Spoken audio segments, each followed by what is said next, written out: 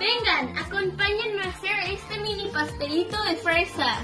Y para hacer estos mini pastelitos vamos a necesitar esta mini cocinita.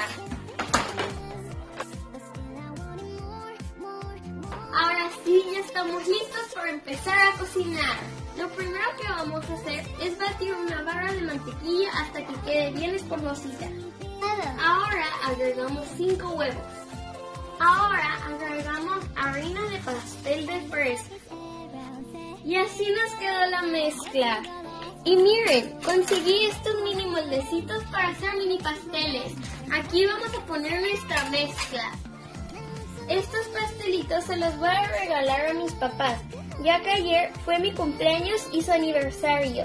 ¿Pueden creer que yo cumplo el mismo día que el aniversario de mis papás? Ya quiero ver cómo quedan estos mini pastelitos.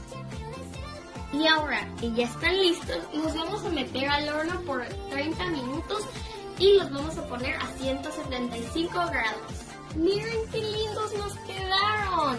Ahora es tiempo de emplatar.